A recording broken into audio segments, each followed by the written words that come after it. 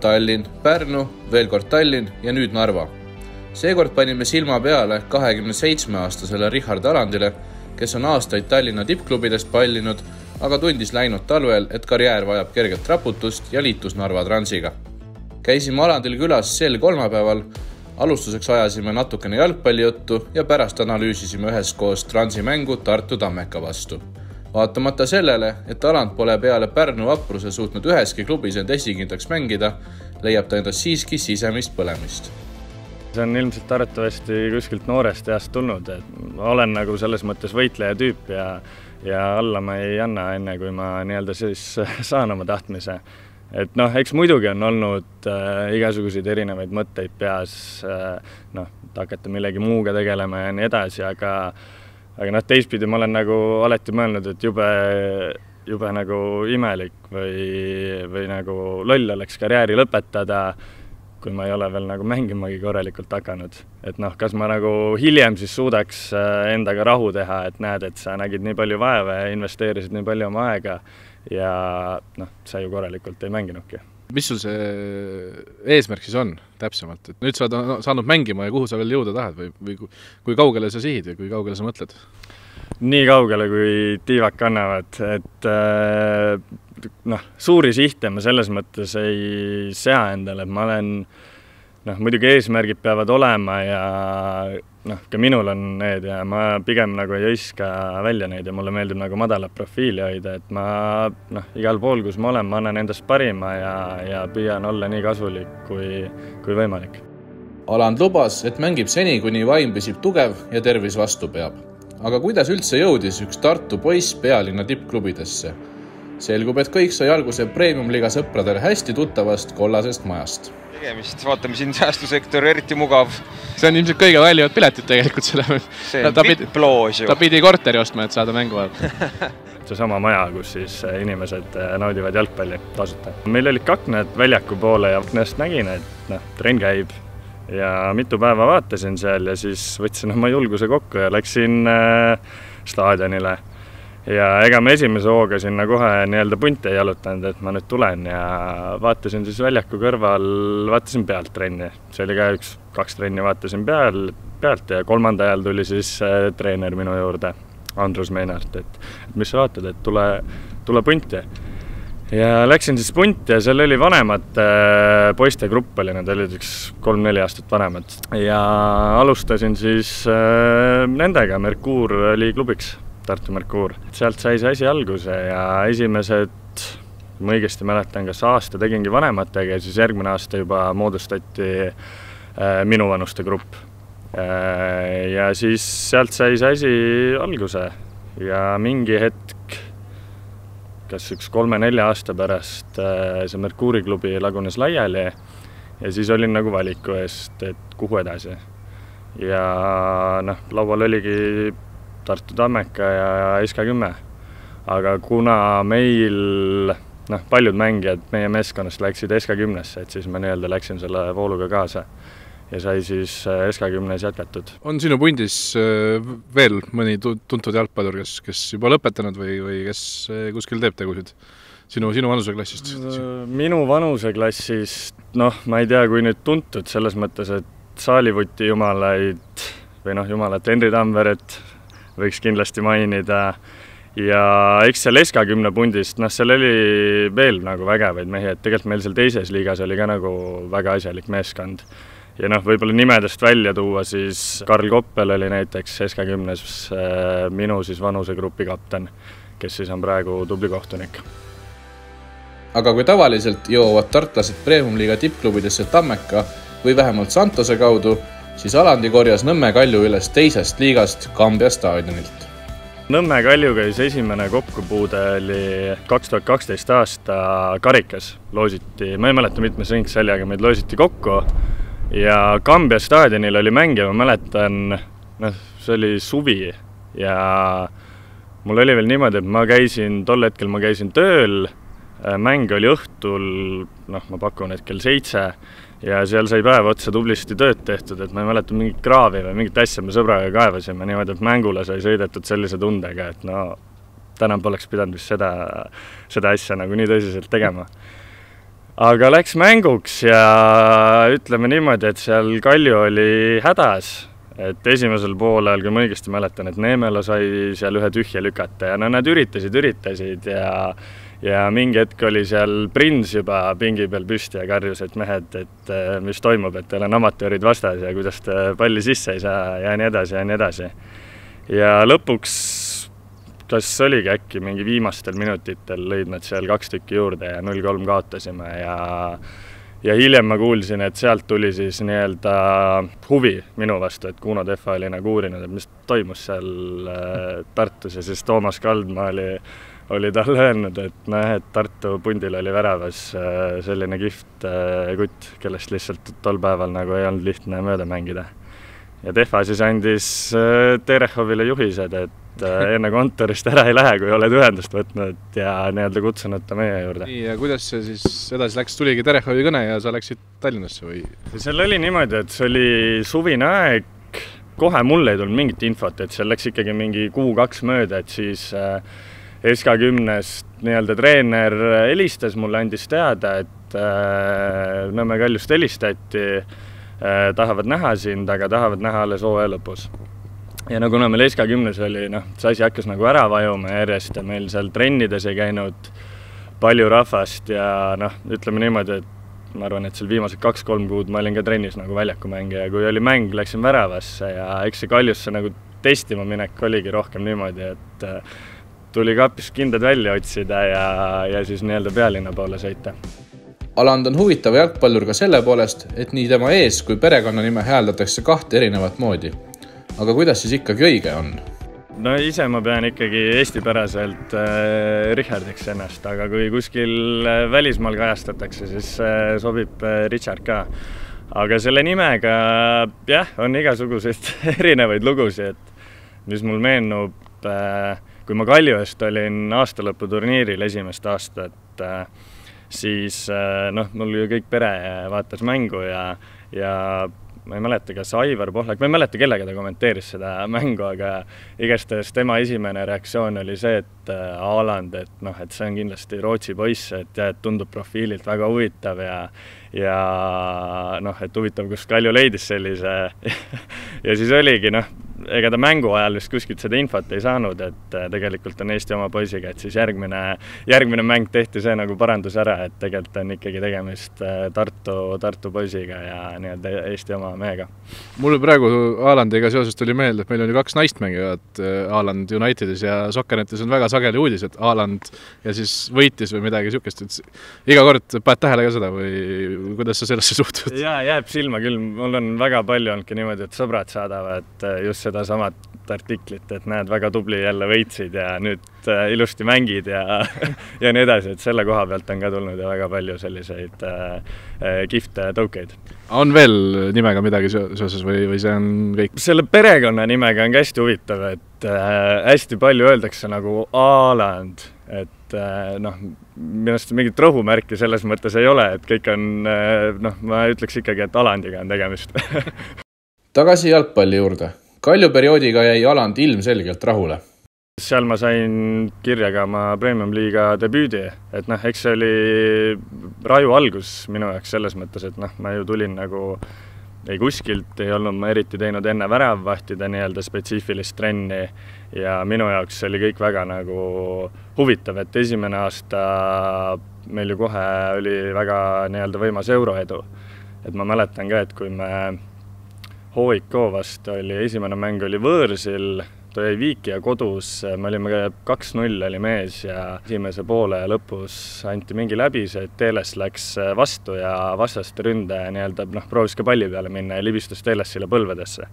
Ja Teeles oli seal pikali maas ja peksis rusikaga vastu maad ja, ja siis oli küll niimoodi, et prints tõusis pingi peal püsti ja tuli, tuli minu juurde, ütles, et poiss, pane valmis ennast, et noh, tol hetkel mul oli küll niimoodi, et kehast käis nagu selline kerge judin läbi ja peas oli mõte, et äh, noh, kuule X, et võta kindad, et täna mine ise, noh aga lõpuks Teles seal suutis poole ajani vastu pidada ja poole ajal kõndis riietusruumis ringi, et noh, eks ta mingi puukasja sai seal ja lõpuks võitsime selle mängu ära ja see oli nagu esimest korda, kuna Kadriorus oli selline täismaja ka ja olgugi, et ma ei mänginud seal, aga see emotsioon, mis sealt oli, see oli ikkagi noh, esimest korda ma tundsin, et okei okay,, et see on nagu väga, väga kihvt äh, värk ja noh, sealt edasi ka, mis vastased meil tulid, noh, Victoria, Põlsen, nende, nende kodus seal mäng, kõik see atmosfäär, noh, see on kirjeldamatu.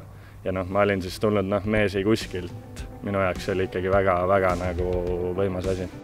Kalju eest käis Aland Premium-liigas platsil korra ja seda kahe tuhande neljateistkümnendal aastal. järgmisel hooajal oli ta juba Flora mees, aga liialt suure entusiasmiga ta konkurendi ridadesse ei siirdunud see nägi välja niimoodi, et üks hetk helistas mulle Tehva, ütles, et saame kokku, siis ta rääkiski, et äh, tuli Florast selline nii-öelda pakkumine, et nad on huvitatud sinust, et mis sa arvad. ja ega ma ei osanud talle esimese hooga nagu midagi öelda, küsisin, et mis sa arvad, tema arvamus oli see, et noh, minu nagu isiklikuks arenguks oleks see hea variant. Et äh, noh, nii palju, kui ma kuulsin, et siis teised klubi inimesed nagu sellest käigust väga vaimustatud ei olnud aga kuna Tehva oli siis see, kes eh, noh, nii-öelda uskus minusse kohe alguses, et siis eh, ta nii-öelda võttis eh, vastutuse selle käigu eest. sina ise tegid seda, mida Tehva ütles või ise ka ikka? No, muidugi ma olin nõus sellega, et mul on vaja väravvähti treenerit korralikku, et ma saaksin nii-öelda edasi areneda ja teha järgmise sammu. kuna ma olin, noh, see oli mul see esimene profiklubi ja ma ütlen, et see meeskond oli noh, minu jaoks ikkagi nagu, nagu pere et siis oli väga raske nagu tol hetkel, kuna ma ei teadnud ka, kuidas selles maailmas nagu asjad käivad ja siis tol hetkel ei olnud nagu noh, see otsus päris niimoodi, et jaa, kohe nüüd olen nõus. aga läksid ja, ja mis siis Florast saama hakkas? Läksin äh, Floras äh,, hakkas kohe suur äh, töö pihta, tuhin oli sees ja, ja sai kõvasti tööd tehtud seal, episoodiliselt sai mängitud, eks see paras selline Ameerika mägedel üles-alla sõit oli aga noh, kokkuvõttes võib ikkagi, ma usun, et väga rahul olla, et noh, võidetud sai selles mõttes kõik, mis Eestis võimalik võita on. mis su enda isiklik eh, nii-öelda tipphetk oli Floras, et no väga palju sa mängida ei saanud, põhiväravahiks sa nagu stabiilselt kordagi ei kerkinud, aga, aga aga mängida said ikkagi, mis su, mis su parim hetk oli? parim hetk, eh, ma usun, et oligi mm, see esimene pool aastat enne siis nii-öelda Igoneni tulekut, et noh, see oli ka see periood, et ma tulin just äh, aasta tagasi, ma olin Pärnus laenul. Ja ma usun, et see aasta seal noh, ma mängisin nagu kõik liigamängud ja see oli nagu see aasta, kus ma hakkasin ennast nagu ära tundma ja tundsin, et sain nagu mingisuguse hoo sisse või et ma leidsin ennast ja sealt edasi ka see järgmine pool aastat oli, oli noh, ma usun ka, et väga, väga okei. Okay, aga noh, ma ütlen, see on jalgpall ja selliseid asju juhtub ja juhtub ka Eestis mida see Egoneni tulek sulle tähendas, kas sa, kas sa teadsid, et klubi otsib uut väravahti või, või, või mis see tähendab senisele esiväravahile, kui tuuakse, tuuakse uus ja parem mees nii-öelda asemele suvel? noh, ega ta midagi head selles mõttes ei tähenda, aga eks jah, esimene kord tuli see selles mõttes üllatusena, et oligi noh, mulle helistati viisakalt öeldi, et selline asi nüüd on ja mees tuleb ja, ja noh, seal käis ikka läbi mingid laenumõtted ja laenuvariandid, aga kuna äh, ma ise olin nagu noh, ma olin ju mänginud selle meeskonna eest pool aastat ja ma teadsin, et noh, see meeskond on hetkel nii-öelda parim äh, ja, ja ma ikkagi võitlen ja töötan edasi siin. kahe tuhande kahekümnendat aastat alustas Aland Floras teise numbrina, aga siis oli ees temast viis aastat noorem Ingmar Krister Poplavskis. suvel naasis Igonen Norrast taas Florasse ja päev enne lõpetas Aland omal initsiatiivil klubiga lepingu ees ootas periood FC Levadias, kolmandas Tallinna tippklubis. eks seal Levadiasse minek, see, kuidas öelda, see ei olnud nagu planeeritud minek, selles mõttes, et Levadia huvi tuli noh, siis, kui nendeni jõudis info. et äh, mul on selline plaan Florast lahkuda ja, ja eks mul noh, kuidas öelda, kuna ma olin korra selle saaga nagu läbi elanud, et siis mul teinekord oli juba nagu hais ninas, et siin Floras võib midagi juhtuma hakata, et siis ma teadsin, et selge, et sel korral ma nii-öelda ei noh, ei jää siia ootama. ja Levadia periood, ühe või kaks mängu said, aga esiväravahiks ei tõusnud, et mis seal siis juhtus või miks nii? neil tuli ka ju uus treener ja uus treener oli noh, Kotenkoga varem nagu koostööd teinud ja, ja Kotenko noh, ma usun, et et jalaga mängus äh, on meil Eestis üks äh, parimaid mehi ja ma usun, et noh, selle koha pealt oli tal äh, väga kõva eelis. ja noh, ma ütleks, et see Levadia etapp oli ka kindlasti nagu väga huvitav, et ma nägin jällegi noh, kuidas nii-öelda mingis teises klubis asi käib ja ja okei okay,, mänguaeg nii-öelda esinduse eest ei olnud küll noh, midagi, midagi erilist, aga võtsin endale südameasjaks seda nii-öelda duubelmeeskonda aidata, et seal ka mingi hetk oli see tabeliseis päris keeruline ja lõpuks äh, suutsime ilusti püsima jääda ja kõik oli okei okay.. aga jah, kokkuvõttes ma ütleks, et see oli ka nagu väga noh, huvitav, huvitav periood ja seda ma kindlasti mäletan ka nagu tagantjärgi väga positiivselt. Alant tunnistas, et kõige rohkem pelgas ta Narva puhul treeningtingimusi, kuivõrd linnas pole jalgpallihalli. ja nii pole just talvel kõige lihtsam end hooajaks vormi viia eks mul mingisugused eelarvamused olid just nimelt võib-olla nagu nende tingimuste osas, et kuna Tallinnas oli ka noh, ma olin ju kogu aeg talvel ikkagi ettevalmistusperioodi asjad on nagu hallis olnud, et äh, võib-olla see oli üks nagu kõige suuremaid asju, mis ma pelgasin. ja siia tulles, eks noh, see aasta meil see talv oli ka võimas ja noh, siin eilegi viskas natuke lund vahele, et eks see vähe karm ole, kui seal väljas on selline miinus viisteist ja lund tuiskab igalt poolt ja väljak on jääs, aga mis ei tapa, teeb tugevaks ja kui see seis hetkel praegu selline on, siis tuleb sellega leppida, ei ole siin nagu midagi jonnida, küll need asjad ka lähevad paremaks. aga võistkond, klubi professionaalsus võrreldes varasemaga ja nii edasi ja, ja siis, ja siis elu, elu Narvas ka?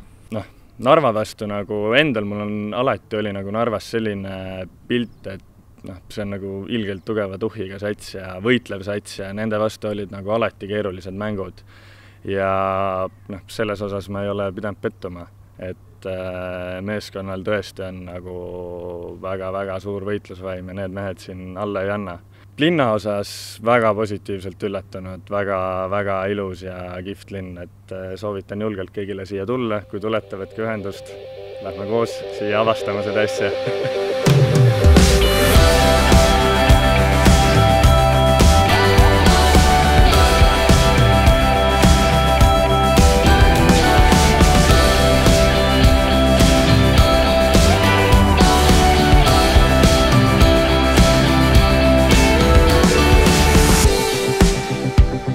õhtune kohtumine läks Transil ja Alandil hästi. kuigi ühe palli pidi väravavaht enda selja tagant välja noppima, siis tasuks ikkagi kaks-üks võit. Alandil tööd palju ei olnud, kuid vabaks päevaks ta seda samuti ei nimetanud. said vaba päeva? ei saanud. mitu tõrjet tegid äh,? ühe ja mitu sisse lasid? ühe et.... aga oli tegelikult lihtne mäng ka väravaid või ei olnud?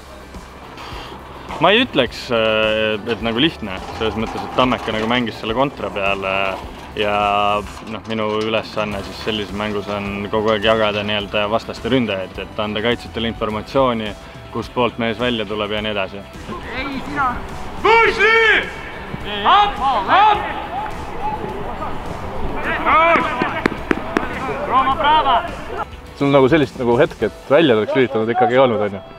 sellises mängus jah, noh ma ütlen, see ongi kõige tähtsam, et sa oled nagu vaimselt äh, oled kogu aeg sees asjas, et nii kui sa välja lükkad ennast, siis on nii-öelda see karistus kiire tulema. aga no satsi kohta natukene üldisemalt, äh, mis te poolel rääkisite, mis teisel poolel teistmoodi tegite, kui üldse?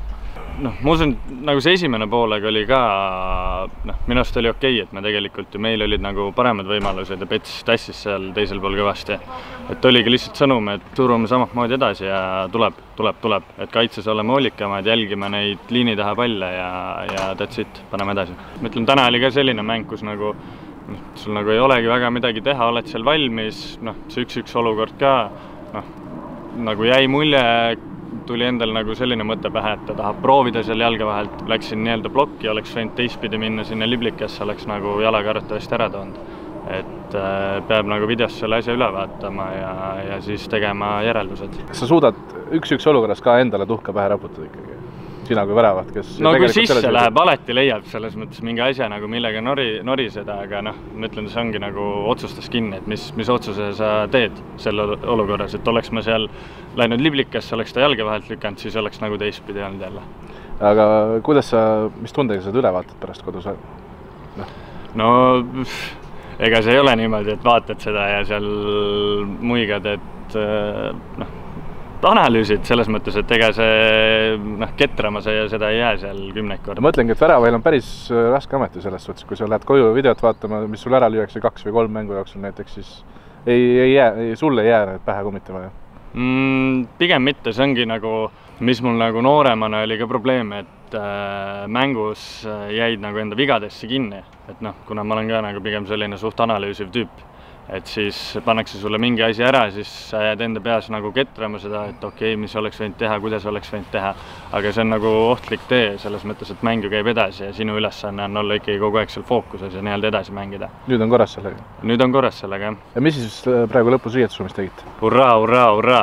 jutte nagu ei, jalgpallijutte ei jää? no ma pidin seda äh, intervjuud andma seal, et äh, just kui ma jõudsin, siis treener tuli välja, et ma usun, et midagi ta ikka rääkis seal, aga meestel jah, emotsioon oli laes ja ja, ja hea võit, ma usun, et me väärisime seda täna. tabeliseis Transil on, kas sa oled nõus, et üle ootust teha või? kuidas võtta, noh, sihid on ju selles mõttes äh, kõrged, ma arvan, et äh, hetkeseisuga jah, võib, äh, võib nagu rahul olla. et noh, mis siin Pärnuga see mäng oli üks-üks viik, sellest on nagu natuke kahju ja suuremate vastu noh, nüüd tahakski nagu neile ka hakata hambaid näitama